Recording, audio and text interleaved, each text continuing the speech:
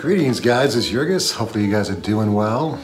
My last video I shared with you about my trip going back to uh, Mount Athos for Pascha and I received some word from a number of you asking, well, how do you go about doing that? How do you go to Manathos? Athos? So this is gonna be my third time. Um, the first two times I, I went alone and so I would definitely encourage you if you're by yourself, you're like, you know, you prefer not to travel alone, I'd say, you know, do it because I uh, went and I believed that, that God would place people in my pathways that otherwise I may not have paid attention to if I was with someone else, and I was richly blessed by it. And I have shared with you these blessings in some of my uh, my videos, my first one and my second one. So I would say if you're don't have someone to go with, don't let that be a distraction for you. And if you do, uh, great, but also you know, look for opportunities in which um, you meet new people and you have other experiences as well, and you get outside your safety net on that. And so this video will give you a little bit of snapshot on what I would suggest you do. Now, the first thing um, you need to do is decide when you want to go. Now, when um, I first went, I was a Protestant, and the research I had done told me that I needed to reach out as soon as possible as a limited non-Orthodox to somewhere from 10 to 15 a day.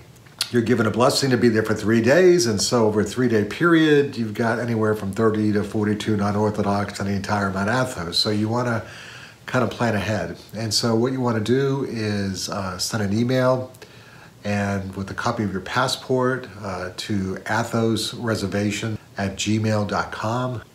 Now, I'm a thrifty guy and I am thrifty. I could pretty much, you know, sleep in any kind of accommodations and eat and and travel. And so I would say that um, you want to go inexpensive on this. And so if you're from North America, Canada, United States, I would say if you can get to Thessaloniki um, direct through like an American Airlines, who they have a connection or a partnership with British Airways, and it's not too expensive, then of course I would say do that. However, if you're running across some really high prices, I would say that your um, motivation should be to get to Europe as inexpensively as you can. And again, if you're traveling by yourself, this makes it easy to do this.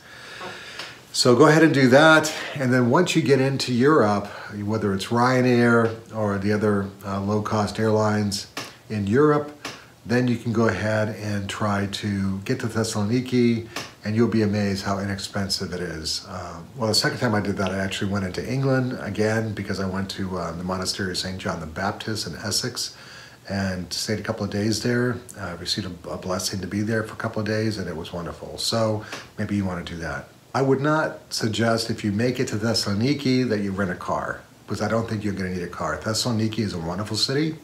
Um, it's an industrial um, city, um, as Athens is very touristy. You know, Thessaloniki is very working, very um, commercial, but has a lot of artifacts as well, has a beautiful boardwalk. Um, and so it's, it's a beautiful city. So once you get into Thessaloniki, um, go ahead and you can, if you're going right away to Mount Athos, you want to take the bus number uh, 79 from the airport and that'll take you to a bus area that uh, I guess is it's known as the IKEA area. There's a big, a bunch of um, bus transfer area in that place. And so once you get there, you, know, you can ask somebody, you know, how to get to Mount Athos, where, where to go. Um, but um, I believe it's bus number 36. So once you get to that IKEA parking lot or bus station, you look for, they're all numbered. It's a very large area and they have numbers throughout look for number 36, and that would take you to something that's called like a KTEL, you know, kind of bus stop. That's the, the, the main bus stop to get to Mount Athos.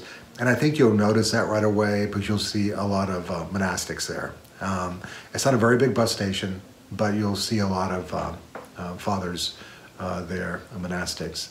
And so I think they have up to five or six uh, buses a day that leave um, this uh, KTEL bus area to go to um, Ouranoupoli. Uh, we want to go from Mount Athos or, or Ouranoupoli is where the ferry takes off.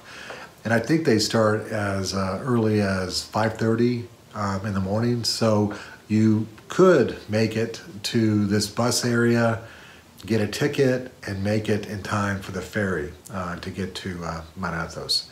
And so if you want to go inexpensively, I would suggest that's how I did it, okay? Once you get there, you're going to want to find the, uh, the office for Mount Athos, and you'll be given a, um, a document like this. And it tells you your name, tells you your denomination, and it's anywhere from 25 to 35 euros. You pick this up. And so it's what you need. So if you were to run down to the ferry for the 9.30 or so ferry and you don't have this, they'll send you back to the office because that happens. Um, so if you get distracted, the ferry will make sure you have it. And then you'll pay the ferry um, uh, to make it to uh, Port Daphne, which is roughly in the center of the peninsula. And they stop um, along monasteries along the way. Now, once you have your permission to uh, to come to Mount Athos before you get your document there. Then you'll go ahead and you'll reach out to different monasteries and sketes. Now, there, there are legally, or I don't know, legally is the right word to use for Mount Athos, but there are only 20 monasteries that are allowed at Mount Athos. Um, and there are some sketes that are technically supposed to be smaller than monasteries, but in a case like of St. Anne's, it, it's bigger than some of the monasteries, of the 20.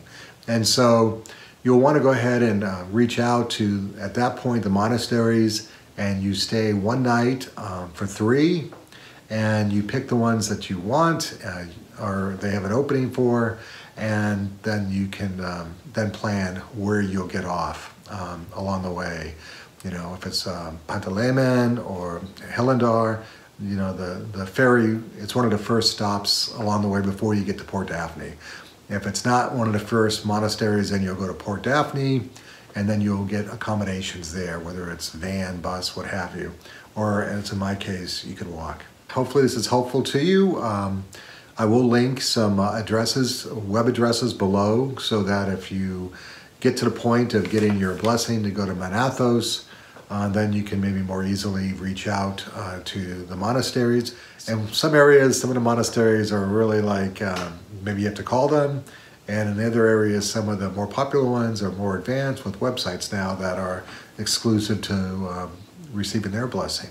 Again, I would encourage you to go to Mount Athos. Uh, I would encourage you not to allow um, nervousness or anxiety about what to expect keep you from doing it pray, bring your prayer rope, pray during this entire trip, and I think that God will place in your path people that upon reflection you'll uh, bring glory to God and thank Him for the trip, and you'll have uh, been blessed immensely. So hopefully this is helpful, and I'll talk to you on the next Orthodox Gardener.